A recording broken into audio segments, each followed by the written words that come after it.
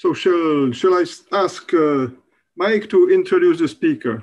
Welcome Sure. to the second, uh, second Okay. talk of uh, scheduling seminar series. Mike, Oh. go ahead, please.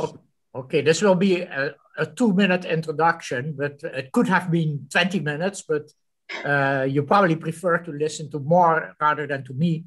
Mor has gotten her PhD at Berkeley, was at MIT for a couple of years, and now is, uh, is a big shot at Carnegie Mellon. And in stochastic scheduling, she is one of the, the, one of the really important people. All of you, of course, in performance analysis in computer systems and cloud computing, she is really the one who uh, spearheading all that research. Um, all of you, of course, have read her book, at least the stochastic people. And if you are deterministic and don't know too much about this area, I can tell you this area is fascinating. Okay, Mor, you can start.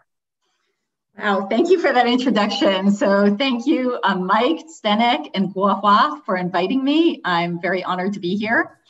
So my name is Mor Harchol-Balter. I'm in the computer science department at Carnegie Mellon University. And as a computer scientist, um, I work in, oh, well, the computer is not moving yet. Give me a second. Here we go. Okay, it's starting, just a little lag. So as a computer scientist, I work in a whole bunch of areas related to computer systems, multi-core architectures, operating systems, energy management, databases. And what I found is that scheduling is at the heart of all of these. Scheduling really is the key to improving computer system performance. And so we're going to be talking about scheduling. And scheduling comes in two different flavors. So the flavor that you heard Jan Karl um, and David talked to you about last time is the worst case flavor. So in this worst case flavor, you assume that there's this very bad adversary and the adversary is coming to get you. And the adversary is choosing the job sizes to send to the scheduling policy. And the adversary is also choosing the arrival times and choosing them in a way that's really bad to try to mess up the scheduling algorithm. By contrast, I'm going to be talking about stochastic scheduling. So in stochastic scheduling, the job sizes are drawn from some distribution, and the arrival times are also drawn from some distribution. Now, if you're someone who works in stochastic scheduling like I do, it's very important that when you say things are drawn from a distribution, that you pick distributions that are realistic, or that you talk about general distributions that where something can apply for any distribution. So I will be cognizant of that. Um, and of course, there are models that mix the two, but we're going to be talking about the stochastic model. So for those of you not familiar with the stochastic community, there are a whole bunch of us in the stochastic community. This is just a few pictures. Um, Rhonda Righter is um, on the committee for the scheduling seminar. And here is Onno Boxma. I consider him to be the modern day father of queuing. So there are a lot of great people in the stochastic scheduling community. But I'm going to assume that people don't know about stochastic scheduling, and I'm going to start with the basics. So we have a queue and a server, and jobs are arriving over time. So this is a job, a big job. And when it arrives, it's at the server and it gets worked on. And so you can see over here, this orange part is the service that's been done on the job. And now another job arrives, and maybe the job at the server gets worked on a little more, and another job arrives, and so on, and we get more work done. So this stuff in orange is what I call the age. That's the attained service. I want to be very, very clear. Age is not how long you've been in the system. Age is how much work has been done on the job. The only job that's getting work done on it is the job that's at the server. So it's how much, how much service the job has already received. And this green part that's left over here is the remaining size of a job. It's what's left, okay? And the whole thing altogether is the size. Now, at any moment in time, there could be a scheduling policy that changes who's being worked on. So the scheduling policy might switch the jobs and whatever age was accumulated here, whatever work was accumulated here that had been done stays. And now this other job starts getting worked on. Okay, so at all times, the job at the server is being worked on. And we're going to be interested in the response time. So I'm going to use T for response time. You can think of this as flow time. It's the time from when a job arrives all the way until it's done, okay? However long it takes with however many switches. So in the stochastic scheduling community, we use a term called MG1. And the M here stands for Markovian, which means that the arrival process is a Poisson process.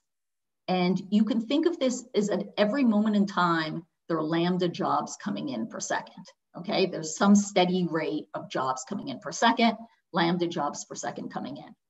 Now, the sizes of the jobs is what G is about. So G says that the job size distribution is general. So I can have any kind of general job size distribution, and I'm going to use the random variable X here to be talking about when I talk about the job size distribution. So X is going to be the job size, and you can see the job sizes are drawn from this distribution. There are many different sizes, small and big.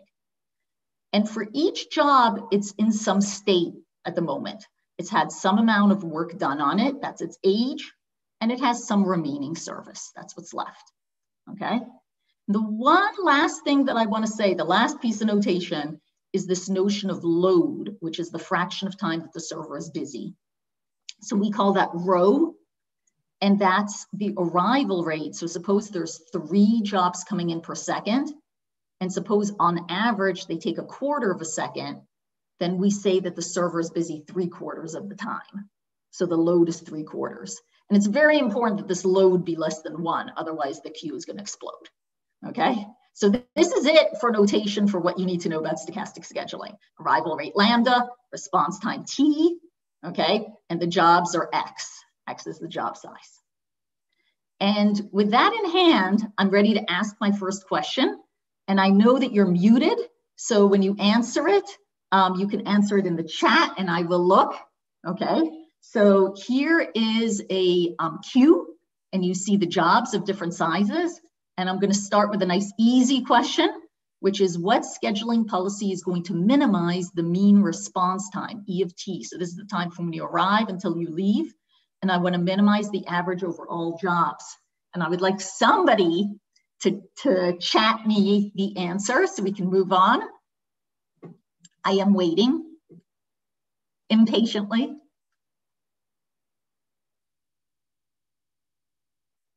Okay, SRPT.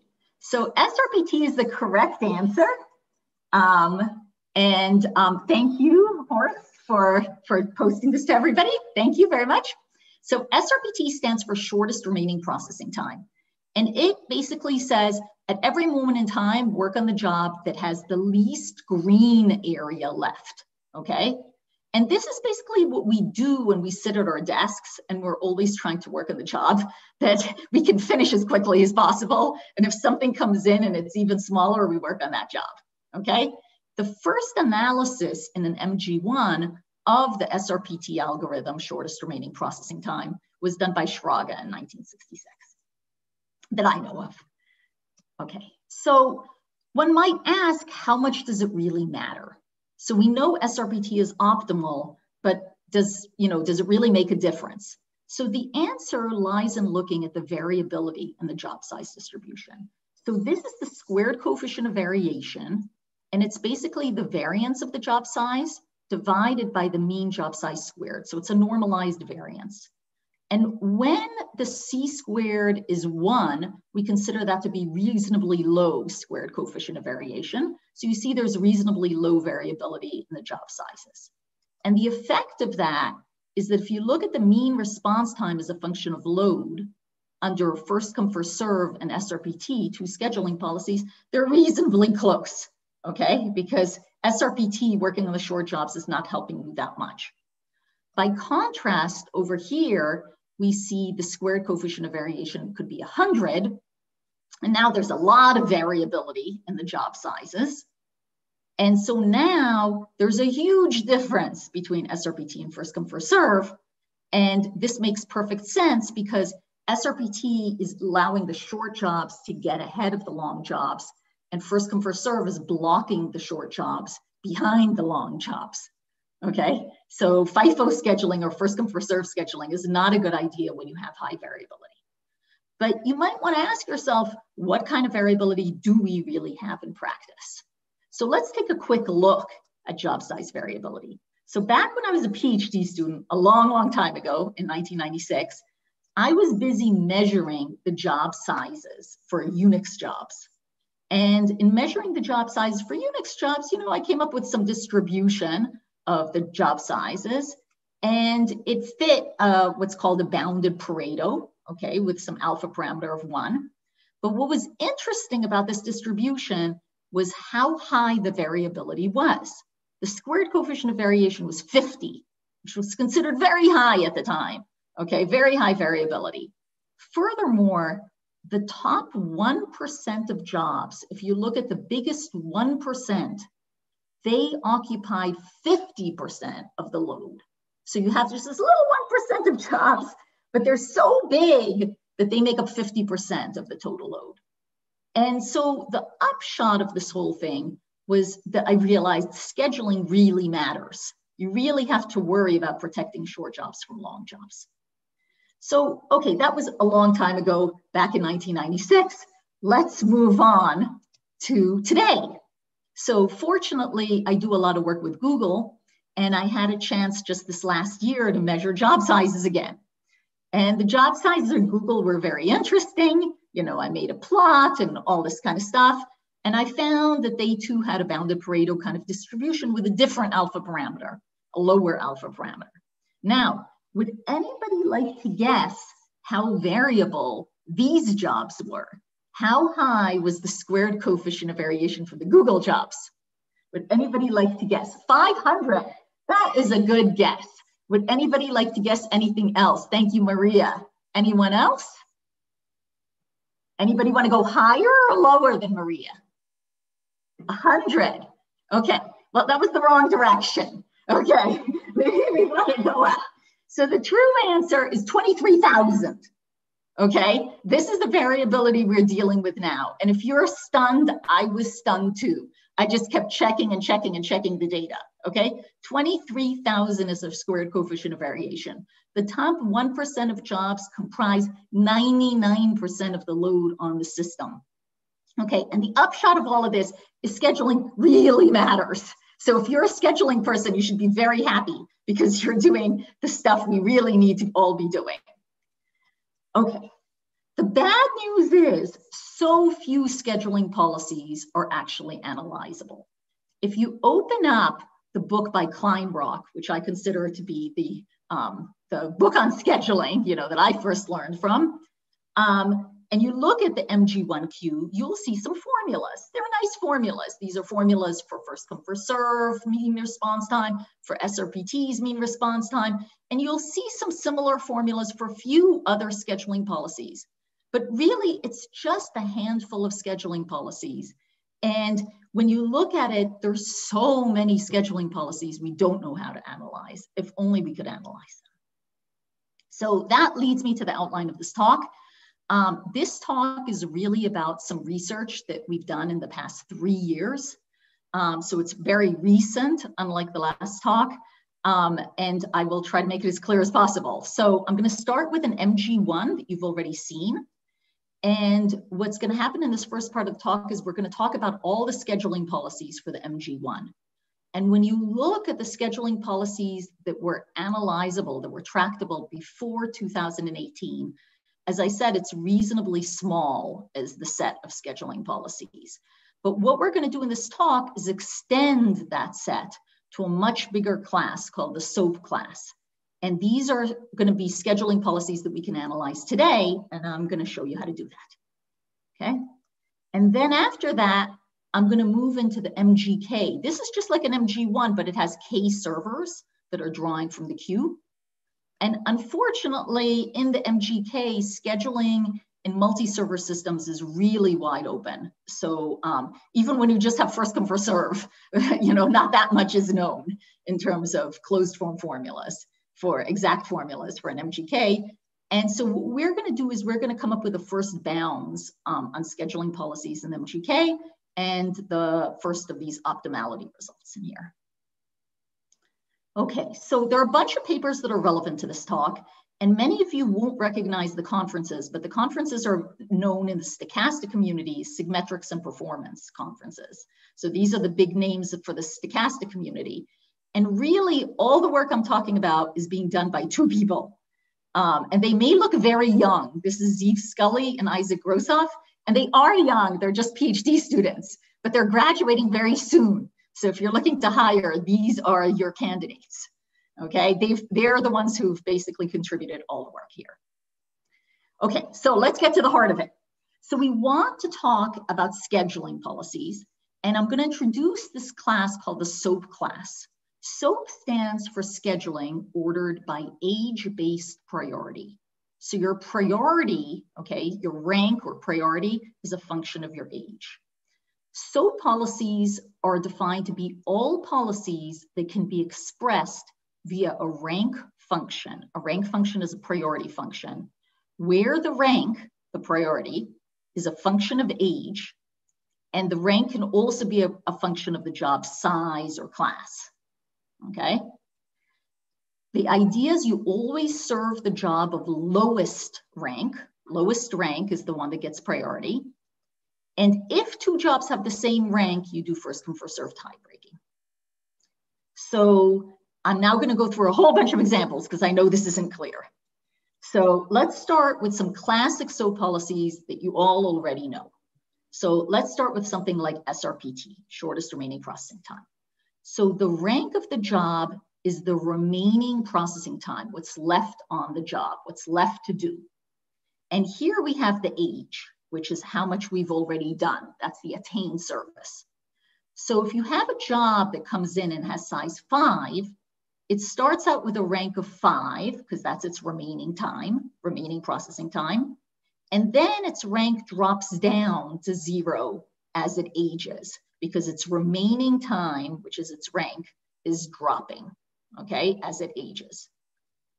So if I have two jobs here, and one has age, say, one, and one has age like four, the job on the right of age four is the one that has higher priority because it has a lower rank. It has lower remaining time. Lower is better for the rank, okay? All right, so now there might be also a job of size three that comes in and it has a rank function. So the rank is allowed to depend on the age and the job size or class. Okay, so different jobs can have different ranks, okay, different rank functions depending on their size or class. And you might have, say, two jobs over here, and one is a job of size five, but it has it has very low rank because it has very little left. And another is a job of initial size three, but it has more left to go, so its rank is higher. And the job that gets priority is this job on the right over here that has less left to go. So even though its original size was higher, its rank is lower. Okay, so that's good. It's good to have low rank. We want low rank. So that's SRPT. Let's look at another policy we can express with a rank function. So say you look at priority, okay? So imagine you have two classes where class one always has priority over class two. So you wanna say all the jobs in class one have priority over class two. So the way you're gonna do it is you're gonna make class one have a rank over here, and then class two is gonna have a worse rank. So every job from class one is gonna have lower rank than the than a job from class two. Within a class, within class one, we're going to use our first come, first serve tie breaking to say the jobs get done in first come, first serve order. Okay, so very simple rule for how you set up these rank functions. Okay, let's try another one. First come, first serve. First come, first serve, all the jobs have the same rank. Your age doesn't matter. Okay, let's try another policy. Here's another classic policy. It's called least attained service. In least attained service, you want to give priority to the job that has attained the least service so far, that has received the least service so far. So it that has the lowest age, you want to give that job priority. So that rank function looks like this because you're giving priority to the job with a lower age. Okay, so hopefully at this point you understand something about rank functions. Okay, so when we look at the policies with a known analysis pre-2018, these are nice examples like SRPT, first come, first serve, LAS, things like that, okay? But I said that I'm going to extend this class. So you might be wondering what else is in SOAP. So these other policies are already in SOAP. What else is in SOAP? Okay. So when you look at the policies that we have talked have been talking about and that we know well, these policies all have monotonic rank functions. What that means is the rank function either goes straight up or goes straight down or it goes straight across, but it doesn't go up and down. Okay, they're monotonic rank functions. The new stuff that SOAP has is policies with non-monotonic rank functions. So these are the rank or priority of a job can go up and down. And you might say to yourself, who cares? Why do we care about a non-monotonic rank function? Where does this come up? Okay, why is this important? So the answer is that these non-monotonic rank functions come up when you, in situations where you don't know the size of a job, but you still need to schedule. You still want to do shortest remaining processing time, but you don't know the size of a job. So let's take a look at what that looks like. So it's gonna be another nice question. How do we schedule when we don't know the size of a job? So here's a queue, and we wish we could see which jobs were small, but they all they all look the same to us. We have no idea which are small. We can only see the age or service that they've received so far, maybe. Okay. And we do know the job size distribution. So we know exactly what the job size distribution is. We just don't know what the sizes of the jobs are. And we would like to work on the one with the shortest remaining processing time. Is there any way that we can approximate working on shortest remaining processing time by somehow making use of the fact that we know the job size distribution? Like we've been watching the jobs over time, so we've collected information about the, the basic distribution of jobs, okay? Because we've been watching them complete over time. But these jobs, we don't know. We don't know how to schedule them. So is there anything that we might be able to do to handle this? Is there anything that sounds like SRPT? Instead of shortest remaining processing time, can we do something else since we don't know the remaining processing time? Anybody? I'm waiting in my chat, again, very impatiently. Expected SRPT, lovely, thank you, thank you, Nicholas. Okay, so I call this shortest expected remaining processing time. Okay, so SERPT stands for shortest expected remaining processing time. And this sounds very similar to SRPT. So let's take a look at what this looks like. So if you look at shortest expected remaining processing time, let's, let's do an example, okay? Here's a job size distribution, and we'll say that the jobs are of size either one or six or 14, each with probability a third. It's a very simple job size distribution. And I'm going to try to create, again, a rank function as a function of age, where now my rank is my expected remaining size at age A. So when I start out at age zero, my expected remaining size is the average of one and six and 14, and that is seven, okay? So my expected remaining size is seven, and it goes down as I age. Now, my job might complete now, okay, because it might only be of size one, so it might complete. But if it doesn't complete, and I now want to compute the expected remaining size once one unit is done, the remaining size might be five, okay, because one has already been done, or it might be 13. And the average of those two numbers is nine. So my expected remaining size jumped all the way up, okay? And now my expected remaining size goes down until six, and the job might complete. Okay, so my expected remaining size now is four. But if the job doesn't complete, then the remaining size on it, once it's achieved age six, is just the remaining here, which is eight. So it has a sure thing of eight remaining, and then the remaining size goes down. So when you look at this rank function, okay, you can see that it goes up and down. And this is showing you the function, the actual function here is the expected value of x minus a, given x is bigger than a, a being the age. So this is expected remaining size.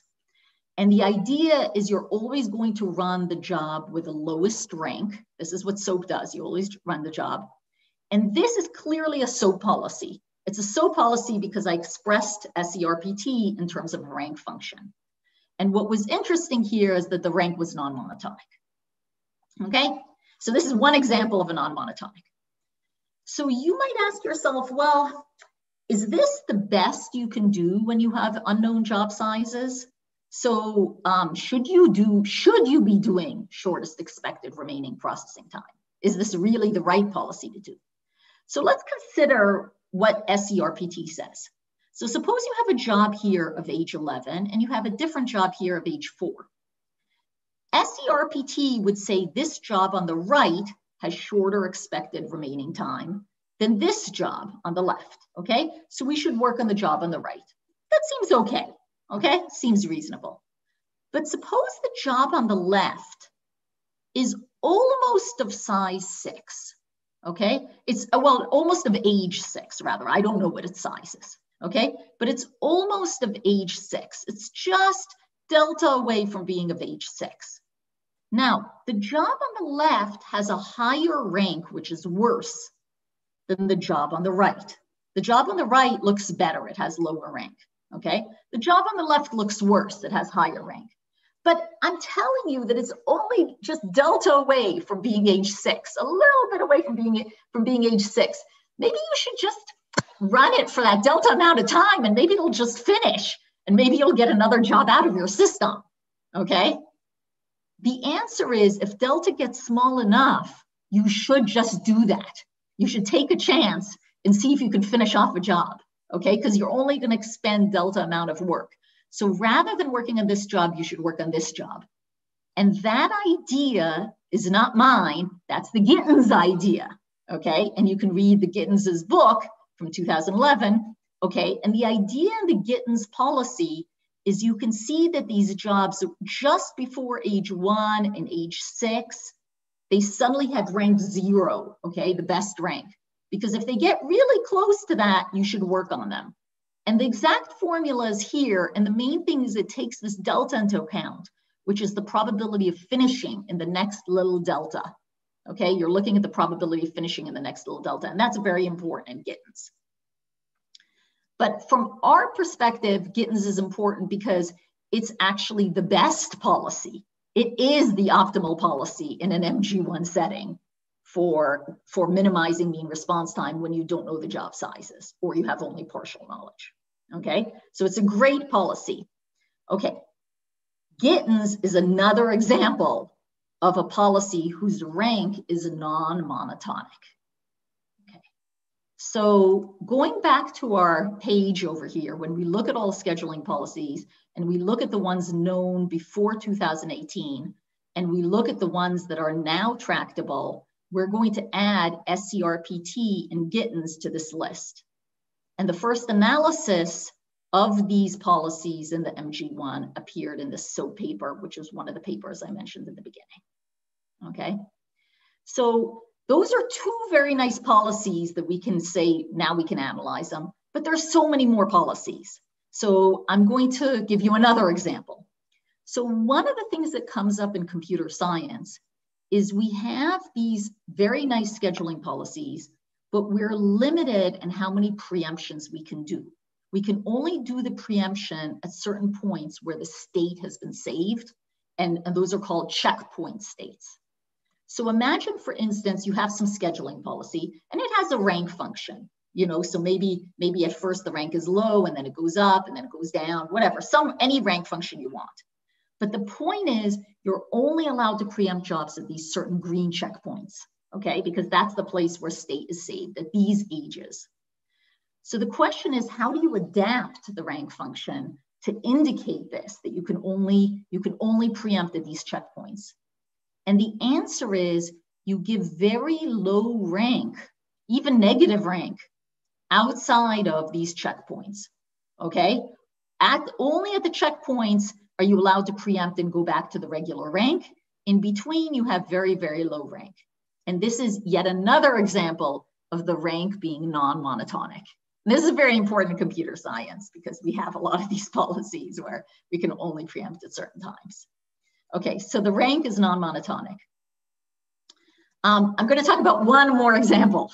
Okay, this one is interesting. Um, it's it's actually interesting to me personally because my son um, had done some work at Amazon and on Amazon when they're when they're running things and actually you know managing you know serving people um, they have humans who are on the floor who are like getting packages for you but they're also robots okay who are in there with the humans and so here's an example where humans have priority humans have top priority because of course we should give humans priority and robots have second priority but humans are kind of finicky people so, you know, humans do not like to be preempted, okay? They really don't.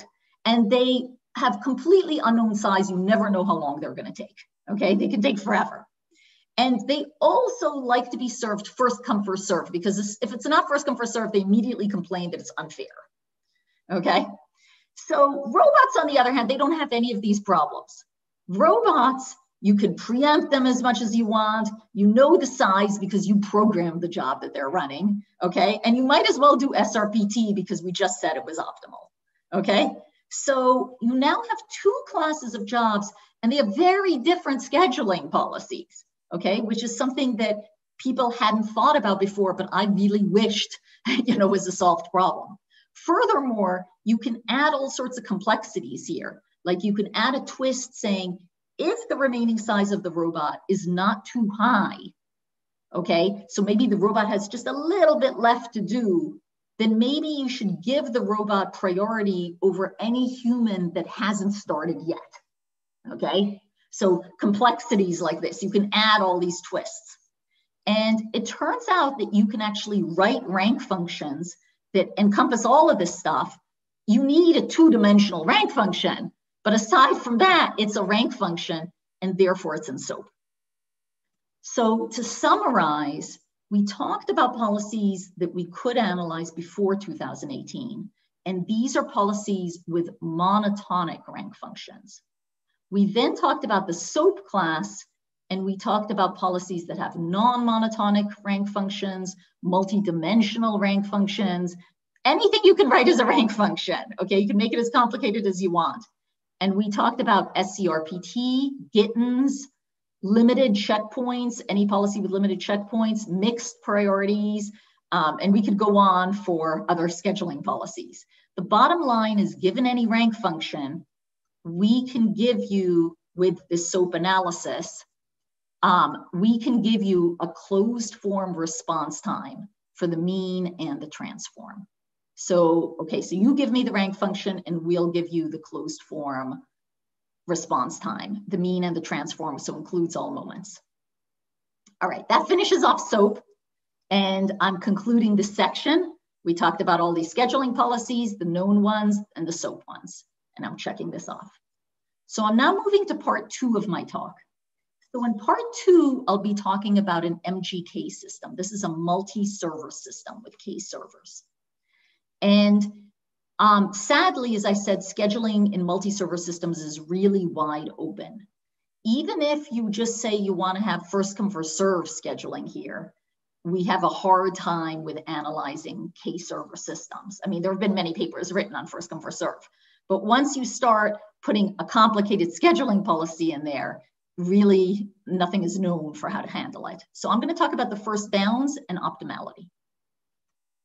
And I'm going to start with the easier case of assuming known job sizes. So I'm going to start by assuming we know exactly the job sizes.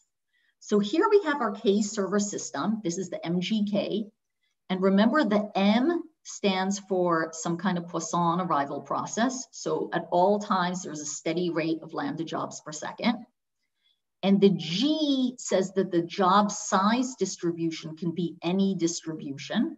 So I'm going to have my usual totally arbitrary job size distribution, any general job size distribution. And the K stands for the fact that there are K servers. And we're going to assume a job size is known when it arrives. So um, we're going to use the same picture. This is the job size. This is the age, which is the work done on the job. And this is its remaining size. And we'll assume at any moment in time, there are jobs of different in different states in here. Like this job has not received any work yet done on it. And some of the jobs are like almost done. They have a high age and very little left to go, okay? And our goal is going to be to minimize, again, the response time, which is the time from when a job arrives until it leaves. So again, we're gonna ask this question. How should we schedule to minimize the mean response time? And the job sizes are entirely known to you. So you know who's small and who's big. You know exactly what they have left. You know what their remaining time is. You know everything you need to know. How should you schedule? So by schedule, I mean like which jobs do you put in the servers and which jobs do you let sit out here? Like how do you decide which jobs to be running in your K servers at all times? So I would like to ask the audience again um, for which jobs I should be running. Anyone? Would anybody like to tell me which jobs I should be running? You've already heard the answer. You've heard the words. Anybody would like to say anything about which jobs will minimize mean response time? Okay, so I think I think that the worst case community, the deterministic people might be like a, a little bit scared here to answer because maybe they know that, that things aren't so good anymore. But let me just go ahead and, and say the obvious kind of answer. And the obvious kind of answer is, well, you know, now we have K servers. Before we had one server and we said we should do SRPT, maybe we should still do SRPT Maybe we should do shortest remaining processing time, but basically we should run the K jobs that have the shortest remaining time on them. Maybe that's the right thing to do. Okay, it sounds good. So what has happened is that the worst case community, who's very intelligent here, has already dismissed this policy. So why? Okay, well, it turns out that SRPTK, which means run the K jobs with the shortest remaining processing time, is far from optimal in the worst case.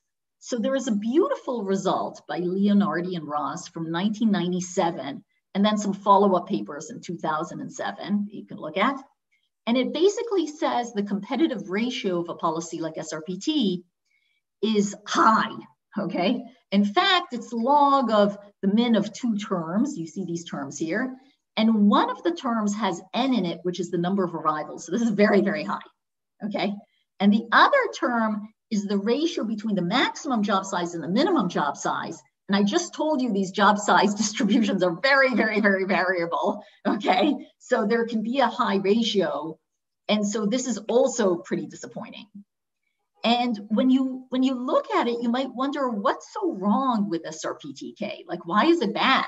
Okay. And the reason really has to do with poor bin packing when the adversary is in charge. Like the adversary can send you two little jobs to SRPT, and SRPTK is going to say, oh, I'm going to run those two little jobs and put the big job back here. Okay. But really, then once the two little jobs are finished, the, the big job is still going to have stuff going on, and there'll be a server that's idle. Okay. And you can end up with all sorts of bad bin packing situations where really you would have liked to have taken the big job and put it here and the two little jobs will run one after another, okay, and get better bin packing. And that's the heart of what goes wrong here. Now, the even worse news is that no other policy does better, okay? So every policy has at least this competitive ratio. And so the problem appears closed. Like, what can you do? You know, I mean, it's just, just a bad competitive ratio. So what can you do? So the thing is, Maybe it's not so bad though when an adversary isn't specifically trying to trick you with a worst case arrival sequence. So what we ask is maybe SRPTK is not bad when you're looking at an MGK setting. So maybe when you have a setting with Poisson arrivals and the job sizes are coming from some general job size distribution, any job size distribution, but it's a general job size distribution. Maybe when you have that, you should do SRPTK. Okay. Um, unfortunately, the state of the art for MGK scheduling, as I said, is mostly non-existent. So we're going to have to invent a way to try to figure out what to do here. And um, that's what I'm going to talk about on my next slide. So I'm going to talk about a new approach for thinking about scheduling in the MGK. And the idea is really simple, okay? So here's an MGK system um, doing SRPTK. We don't know how to analyze it, but we do know how to analyze SRPT1. We do know how to analyze a single server system because we learned about that back in like the 1960s, okay? So, so we have a K server system, one server system. Maybe we can relate the two of them together. So maybe we can look at the K server system as having servers of speed one over K. So they're all of speed one over K and relate that to a single server of speed one. So I'm not really saying I'm, we can handle any general MGK. I'm just for the purpose of this proof, I'm going to assume that the speeds here are, these are, they're more servers, but they're slower okay? So that I can comparably compare it to a single server. And the load here, remember, is the fraction of time that the server is busy. And load here means the same thing, but it's the average fraction of servers that are busy, okay? And so the idea is we're going to try to relate this system to this system. Okay, so when you think about optimal scheduling in a K server system, the response time by definition is worse than optimal scheduling in a single server system because the single server system is like all powerful. Okay, it can always get work done. And the K server system, you know, sometimes only has one job and it's running at a slow speed. Okay, so so this is a, a clear relationship. Furthermore, we know that the optimal scheduling for a single server system is SRPT1. Okay, because we already talked about that. And what we're going to now do is look at SRPTK, which is at least as high as whatever the optimal is for a K server system. So here's the idea. If we can show that SRPTK, this mean response time under SRPTK, is related to the mean response time under SRPT1, if we can show that they're close together, then we've sandwiched opt inside. And that already tells us that SRPTK is optimal. Okay, if we can show that this is close to this. So we're going to show two results.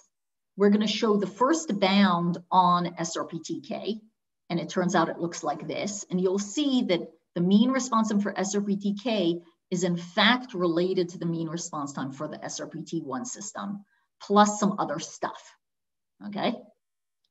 We'll also show an optimality result, which says if you are in high load as rho goes to one, if the system is busy, okay, and you look at the SRPTK system, which is busy working, and you look at the SRPT1 system, which is busy working, as the load gets higher, they basically become the same.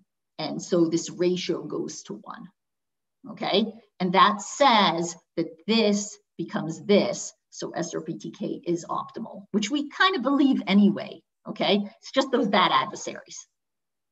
Okay, so I'm only gonna discuss the key idea in the proof the one key idea. Okay, there's a lot of other ideas, but this is the key idea. The key idea is to be looking at SRPTK and SRPT1 with respect to only a job of size X, this yellow job, and look at, so I'm going to pick an arbitrary size X and look at the relevant work relative to size X, relevant to this job of size X. So I'm going to look at the, the relevant work here, okay, what this job of size X sees ahead of it, and what the job of size X sees ahead of it over here. And the claim is that the relevant work relative to this job of size X is similar in SRPT1 and in SRPTK.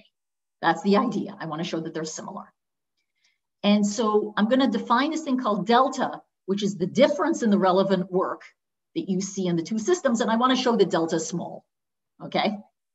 So when you think about it, the SRPTK system is at a disadvantage, obviously, compared to the SRPT1 system. But we can divide time into intervals. There are times when there are very few jobs in the system. And when there are very few jobs in the SRPTK system, okay, then the SRPTK system is at more of a disadvantage because it's only maybe busy with two of its servers or something. And so it's losing a lot of capacity, okay? But when there are many jobs in the two systems, then the systems are basically working at the same rate, okay? Everything is good. okay? And the SRPTK system can catch up. So specifically, if we're in a few jobs regime where there are fewer than K relevant jobs in the SRPTK system, what we can say is because there are fewer than K jobs, the difference, the, the amount behind that SRPT can, can be is only KX. So this delta has to be something less than KX because there just aren't that many jobs. And during the other intervals, you do catch up and SRPTK catches up to SRPT1. And this is great because it means that the difference in relevant work is bounded by KX. This is the key idea is to bound the difference in relevant work that, that you see. Because in SRPT, all you see is work that's relevant to you, the jobs that have less remaining time than you. Once we have this bound, we can quickly translate it into a bound on mean response time. Maybe not so quickly, but I'm skipping a lot of steps and we can get a bound on mean response time. And this is the first bound that I talked about, where I said SRPTK is related to SRPT1. Now, this term over here that you see, this term that I've circled, it would be very interesting to get a handle on what that is.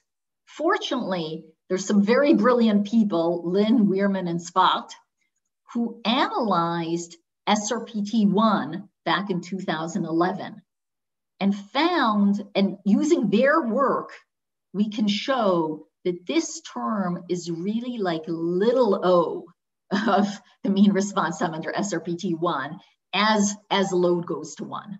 So in the limit as load goes to one, there's like, this is like a little o term. And what that tells us is that the mean response time under SRPTK under high load, under high rho, rho goes to one, is like SRPT1 plus a little o term. And that's what leads us to get this optimality result. Okay, so that's how we put it all together. So hopefully that made some sense. Okay, I'm now gonna show you just some pretty pictures. Here's say a uniform distribution, K servers. Here's a ratio between SRPTK and SRPT1 as a function of load. This is the actual result. This is simulation, okay? And you can see that when load is light, the SRPTK system is 10 times worse than the SRPT1 system because we have 10 servers. But when load is heavy, that's when SRPTK starts to look good.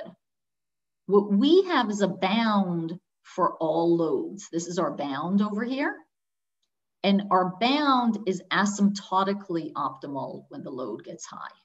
So this is just a bound, okay, on, on this performance. And it's not such a horrible bound, actually. And we can even make it better than what we have here. So this analysis, um, we have repeated it in multiple, um, for multiple scheduling policies. There are a lot of scheduling policies that you can basically use this technique on, probably some we haven't thought of, okay? And you can come up with bounds on their performance. Okay, so what I did now was I went through this problem in the case where you know the job size. And I want to just briefly say one or two words about what if you don't know the job size. So what if you're trying to do, so this is very new work, Sigmetrics 21, very new work. Um, what if you're trying to schedule this MGK, okay? You have no idea what the job sizes are. You do get to look at the job size distribution, okay, because you've seen the jobs completing over time. You know the ages of the jobs. You know how much work has been done on the jobs. So you know their age, but you don't know which is big and which is small. So you can't do SRPT. Okay.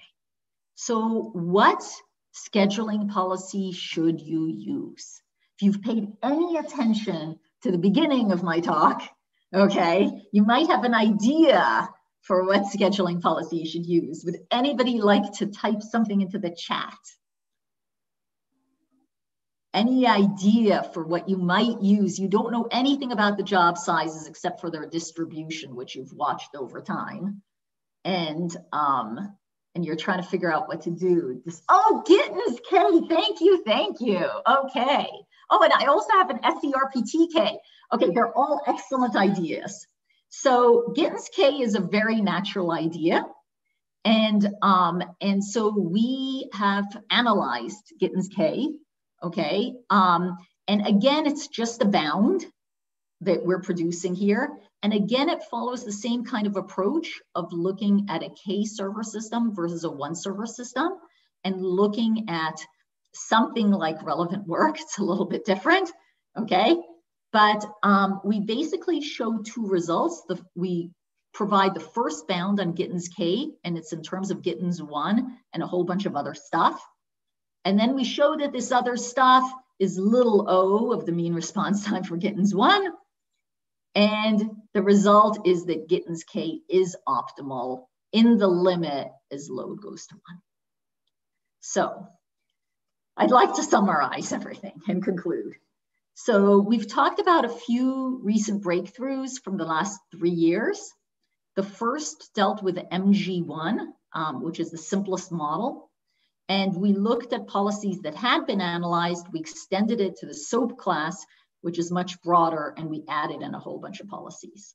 We then moved to the MGK, where we looked at scheduling in multi-server systems, and we found the first bounds and optimality results for a wide range of policies. Um, still just a handful of policies. Okay, there's still a lot to be done, I think. Um, so this is it for the end of my talk. Um, I do have a slide on some open problems and things like that. If you want to ask about that, um, that's the this slide over here talking about open problems. Um, but I will let people ask their own questions. Thank you. Okay, so please, uh, you can use chat in uh, in uh, Zoom, which is preferred way of asking questions by Mor? Or uh, so you can use chat. You can raise your hand if you can. Um, if you can yes, actually. Um, I can try to unmute people that. Yeah, if you can unmute yourself, that might be the easiest thing for me to be able to see. Okay, wait a minute. So, hello participants. So now all participants should be able to unmute themselves, okay? Yeah, so I'm just opening it up so I can see participants. First question is coming in chat. Yes, please.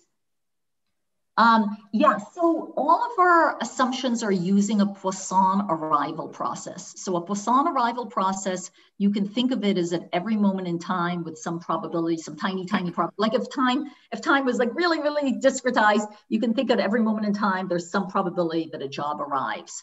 Um, the Poisson distribution has nothing to do with the job sizes. It's just the arrival process. And we do require a Poisson arrival process because the memoryless property that it has. Yeah. I have a question. Yes. Uh, uh, the bounds that you have for the MGK, the, let's go back to that arrival process, as, at, uh, at, uh, especially the bounds that you have in heavy traffic. You expect that you can have some freedom on the arrival process, especially if the inter-arrival time distributions have a increasing failure rate. You think that your bounds still will hold for an um, arbitrary arrival process, increasing failure rate.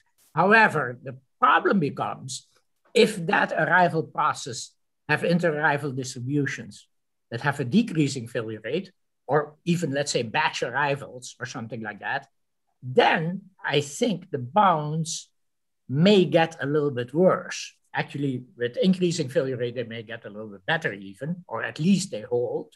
In decreasing failure rate, they get a little bit worse, dependent upon the coefficient of variation or any batch arrival process. Have you looked at that or have, do you have any conjectures in that yeah, direction? No, uh, so our arrival process is just a Poisson process and I've not changed the arrival process. We do look at different job size distributions, the G, okay? um, we do look at different job size distributions and, and um, you know, different um, increasing failure rate, decreasing failure rate, different variability and stuff like that. Um, and there, sometimes the bound gets worse or better, you know, depending on the variability of the job size distribution. But um, the arrival process is always a Poisson process. Okay. Um, any other questions? Different distribution of speeds of servers other than uniform. Yeah. Um, yes. So if you look at the paper on SRPTK, so this was, um, I think, performance 2018. um, has the paper on the bounds for, for SRPTK, which is this result. Um, you can see a few other distributions and, um, and the bounds are, the, so the bounds that I showed you here, this was the bound that I showed you here, you'll see a few other pictures that look like that for other distributions. They're not all that different in terms of the effectiveness of the bound. Anybody else? So this is the G that I'm talking about, or, or here I call it X. The X talks about the job size.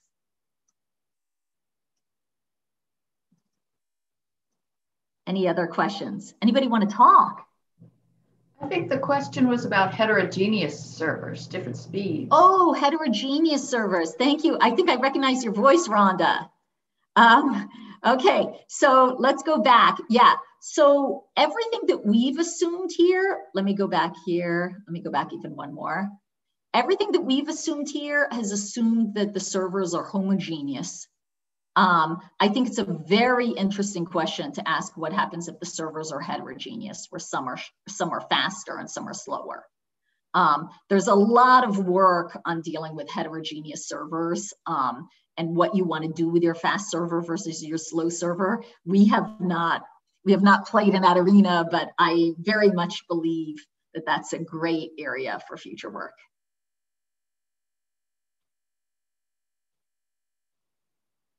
Anybody else have a question? Um, you can also ask about, yes? No? What is the biggest challenge when bringing theory into practice? Approximating the arrival and size distributions are additional complications in the models themselves? Ah, okay. This is a question I can sink my teeth into. okay, so I spend a lot of time on actually working with companies and bringing theory into practice.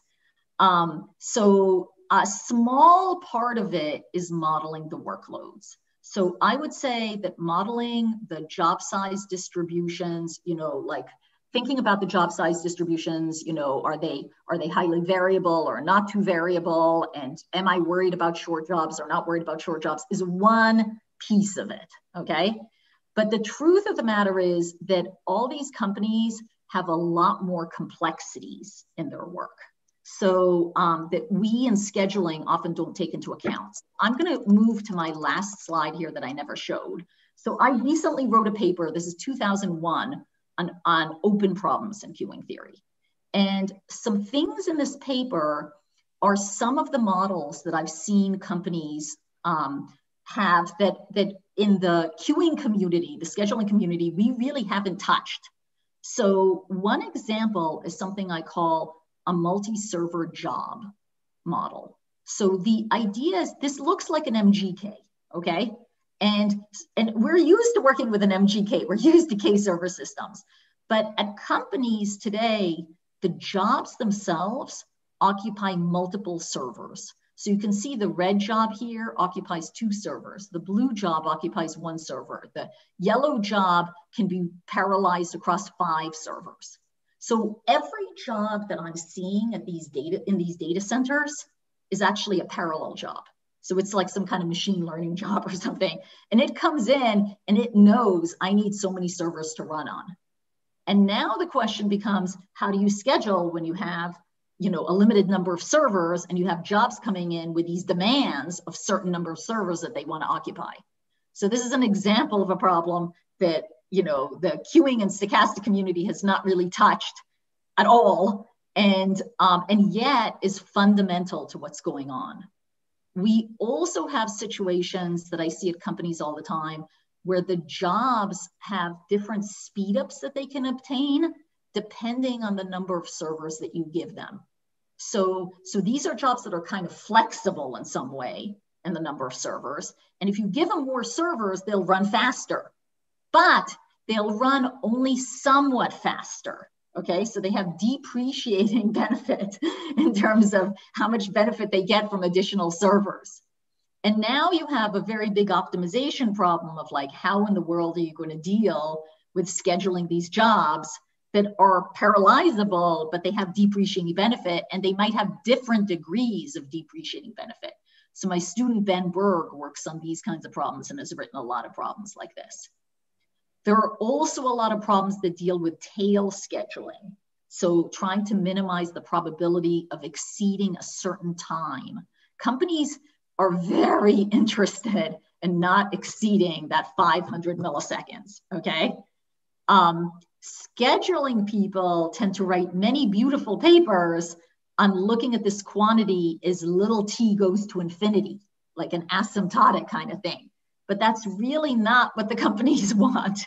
what the companies want is simply to not exceed that 500 milliseconds very clearly. So you have a hard deadline. And policies dealing with deadlines are very difficult. Um, I can go on if people want to hear more, or maybe there are other questions people have. So let's see. Um, so networks of queues. Ah, so yeah, so I'm kind of interested a little bit in this networks of queues. I can't say I have anything yet, um, but it would be very, very nice to take some of these scheduling policies and move them into networks of queues now. I know that's been done for a lot of classic scheduling policies. So it would be great to take some of the SIL policies and are there other questions that I just have missed? Sorry, I'm trying to manage two computers at the same time. Anything else? Or anybody want to repeat a question?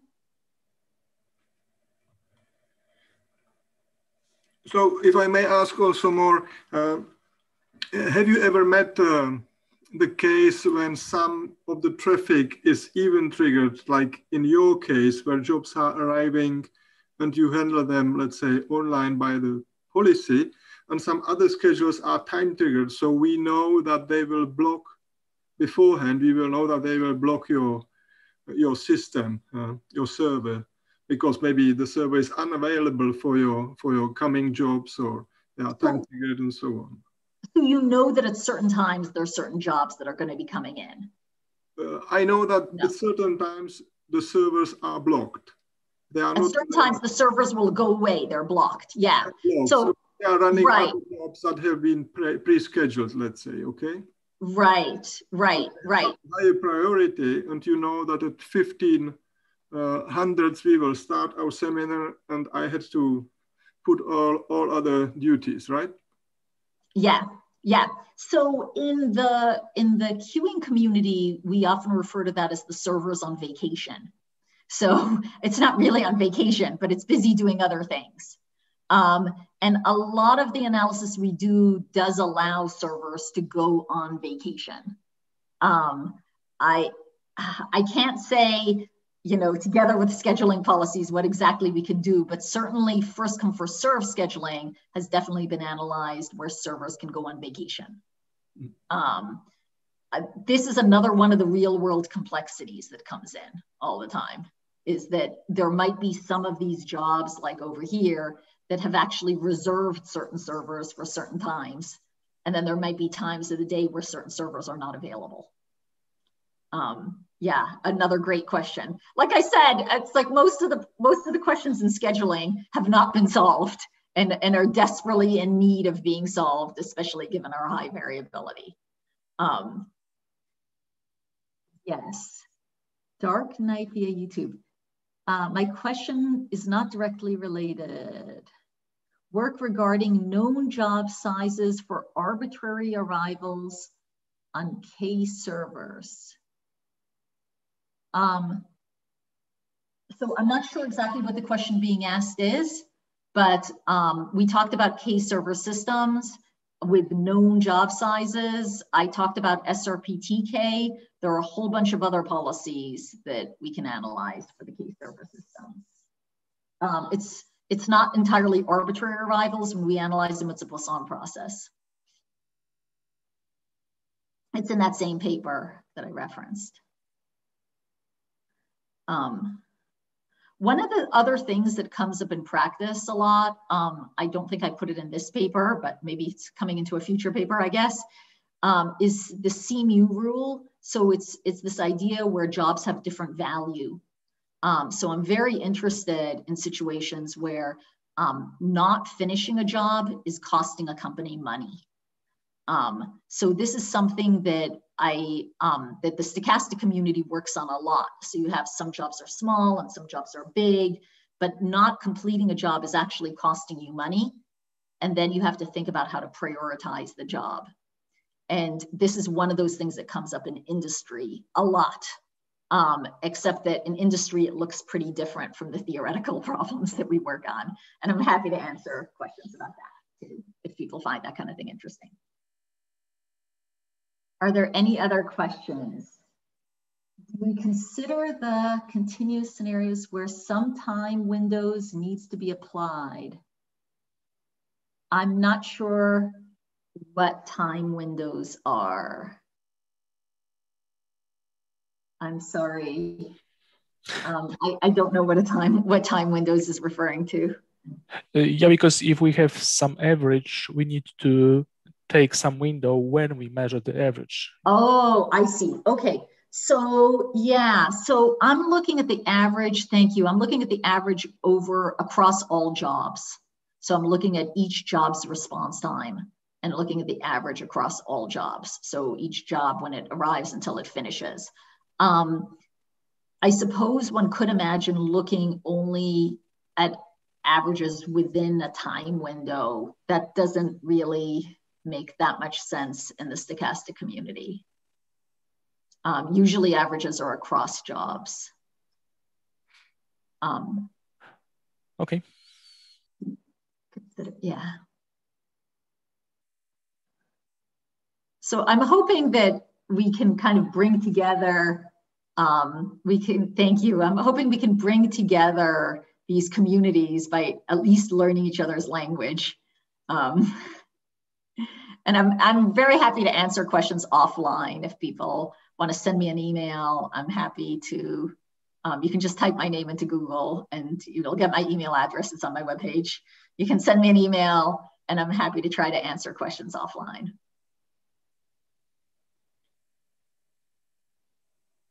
Okay, Mor. So thank you very much okay. for talk and uh, responses to the questions. Uh, thank you. no more questions, we will close it. Thank okay. you. You want to make an announcement also for our next talk? Yeah, sure. Yeah. So maybe Guohua, if you are there, maybe you can announce. Should I, should I stop the screen sharing maybe if you want to share screen or are you okay? Oh, I think it's more or less okay. Okay. So the, the next talk where Guohua is not going up. So the next talk will be given. Oh, he's there. Guohua is there is there? Yes. So please yeah. go ahead. Yeah. Yeah. So uh, next talk will be uh, uh, will be done by uh, Professor Lixin Tang from Northwestern University in China. And uh, his uh, topic is uh, basically concerned with the applications of uh, scheduling theory in practice, especially in continuous uh, uh, production system like uh, steel making. So uh, welcome all people uh, to join this uh, seminar series. Thank you. All right. So I think that's all. So thank you for, for joining us and hope to hear you and speak to you uh, in two weeks, right? Okay, Mor. Yeah. Thanks a lot. Eh? Thank you. Bye-bye. Bye-bye. Bye-bye. Wonderful Bye -bye. talk. Thank you. Thank you. Thank you. Bye-bye. Bye-bye.